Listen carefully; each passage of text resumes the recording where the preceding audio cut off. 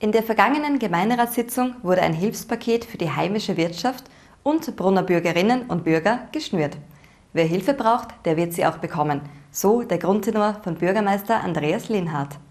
In Brunn am Gebirge hat man sich also so wie auch in anderen Gemeinden und Städten dazu entschlossen, für die Bürgerinnen und Bürger, vor allem aber auch für die Wirtschaftstreibenden ein Förderpaket aufzulegen. Was ist in dem Paket drinnen?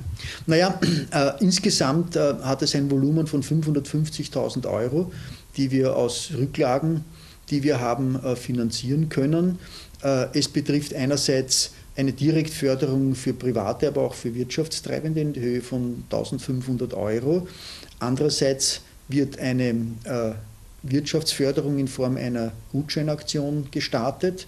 Das heißt, die Bürgerinnen und Bürger können sich Gutscheine im SIP holen, äh, bei den Firmen einlösen. Die Firmen schicken uns am Ende der Aktion die Gutscheine und erhalten äh, den Wert der Gutscheine rückerstattet.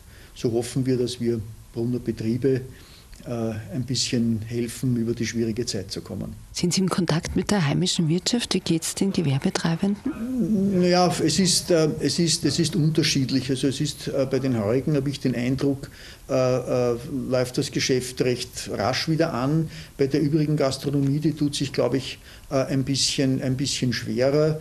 der Einzelhandel, glaube ich, kommt wieder ganz gut ins Laufen.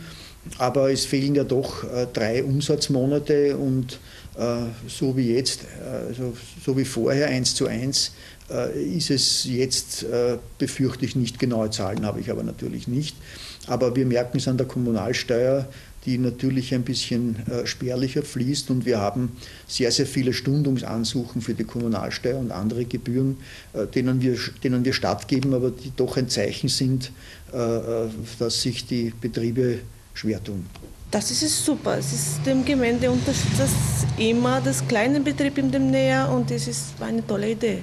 Das klingt alles sehr positiv und wir merken, dass der Anst oder Ansturm unter Anführungszeichen auch zu uns kommt und regional gekauft wird. Förderprogramm ist immer gut. Ja. Man weiß ja nicht, äh, wie es weitergehen wird, weil es noch sehr viele Arbeitslose geben wird anscheinend, so wie man sie aus der Politik hört. Und ich bin aber guter Dinge. Also ich hoffe, es läuft so weiter. Wann startet die Aktion?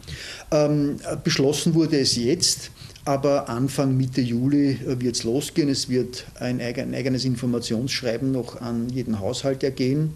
Äh, auf der Homepage wird es natürlich veröffentlicht, also man muss nicht jetzt gleich, wenn man dieses Interview hört, auf die Gemeinde laufen und äh, sich dort äh, versuchen, Formulare zu krallen. Da gibt es schon noch ein bisschen einen, einen, einen Vorlauf, den wir brauchen. Aber ab Anfang Mitte Juli kann man die Sachen dann in Anspruch nehmen.